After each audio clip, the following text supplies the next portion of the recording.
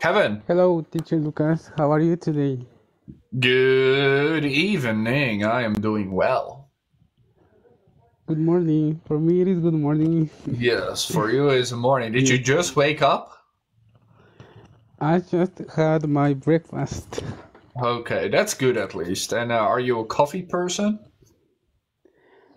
No, I don't really drink a lot of coffee. I like to drink water Oh, fair and some milk. Fair enough. Do you have any problems like that with a cat where they take all your money or a girlfriend?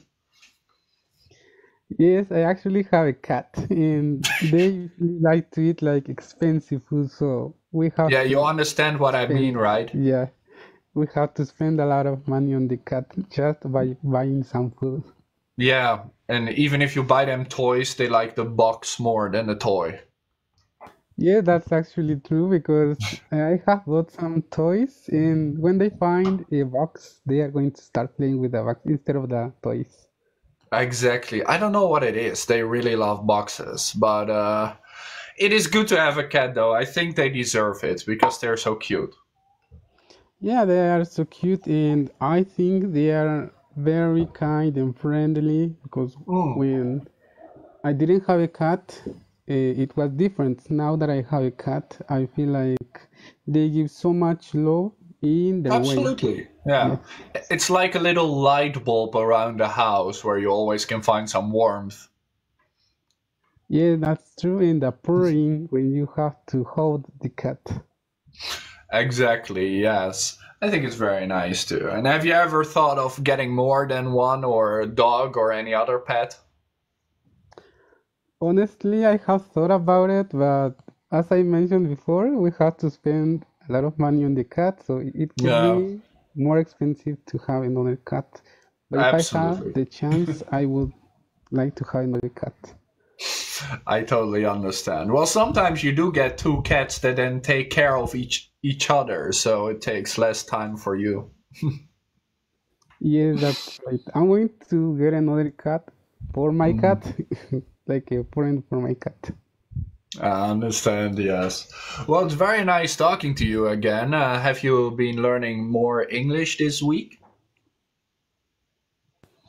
Yes, I have been learning, I have been read about uh, some educational uh, topics because I'm starting to be an, in, an educator, so hmm I have to read about it. And yes, I have uh, read a lot of things, and I think that it has helped me a lot.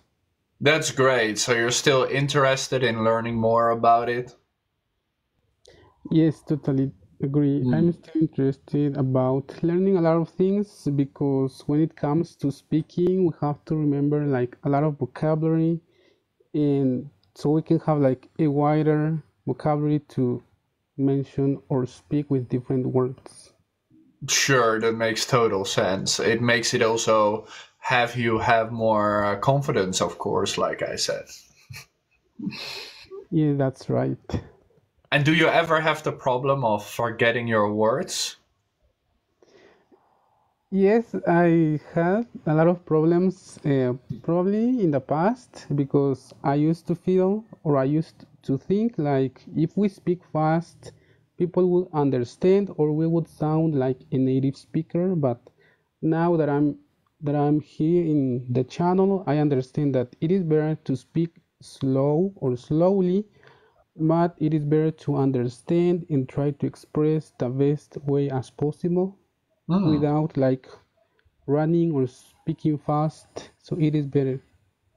Yeah, I think you have to find your own preference. I like it slow and steady, but there are also teachers who would like to for you to speak fast because they think that it's more natural and native. But it's uh, your choice, of course. yeah, that's right. I at least appreciate it, and uh, thank you so much for listening too. I'm glad you are learning something new. I'm really grateful for the channel and for you because you have taught us a lot of things, and I think that we all appreciate it. Awesome. Uh, It's my pleasure, of course. And from everything that you've learned, maybe in the past week, is there something you would share with other English learners that you're like, oh, that really helped me?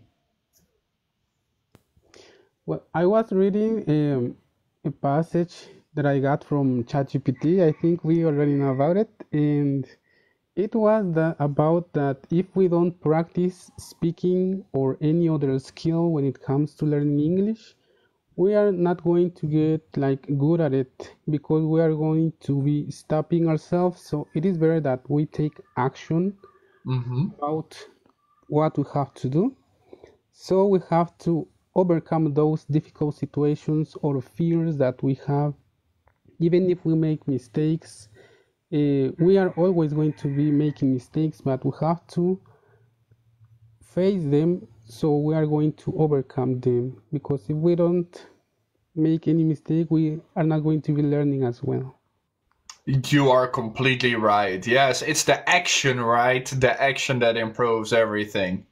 Thank you so much for sharing that. We really do appreciate it. yeah thank you so much teacher lucas and uh, I hope you keep enjoying learning and improving. yes of course Hey, see you around. see you later teacher lucas thank you so much for this opportunity and nice to see you My pleasure. take care